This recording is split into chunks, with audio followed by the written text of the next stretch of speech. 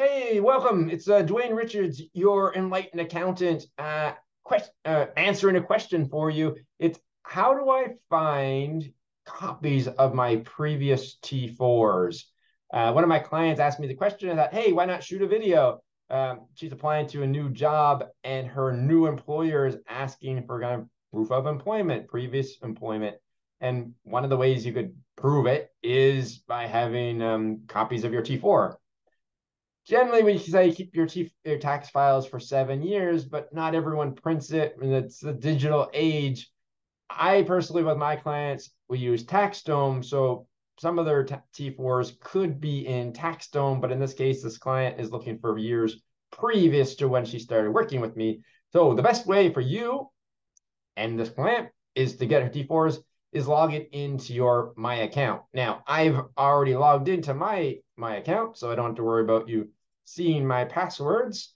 Uh, but let me share the screen here. And here is um, welcome to my account. Now, if you don't know what my account is, watch one of my previous videos about how to get set up with a my account. And if you forgot your passwords, you're going to have to call CRA. Now, just really quick, if you have young kids, this is how you can apply for the Canadian dental benefit.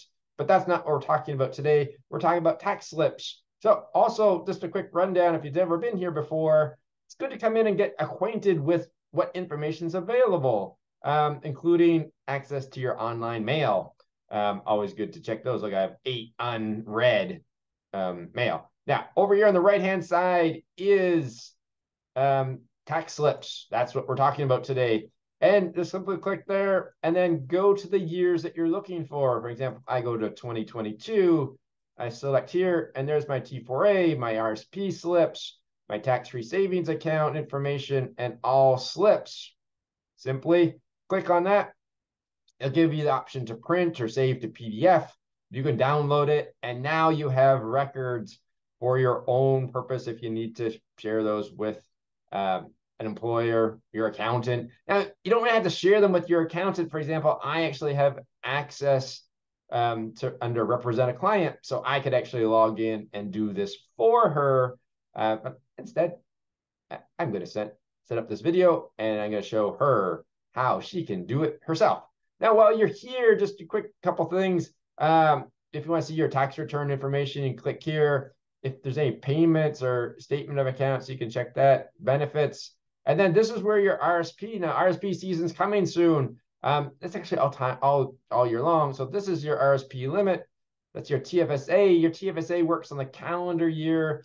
And if you have a home buyer's plan, this is where you can see how much money is still outstanding. All right, hopefully you found that helpful. A quick drive around uh, information available in your My account. Dwayne Richards, your enlightened accountant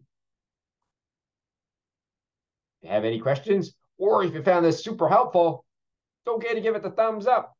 Want to stay tuned for one of the next videos, or check out some of the other videos in the library, tax tips, strategies. I think there's also the you know 10 common mistakes when it comes to your tax season.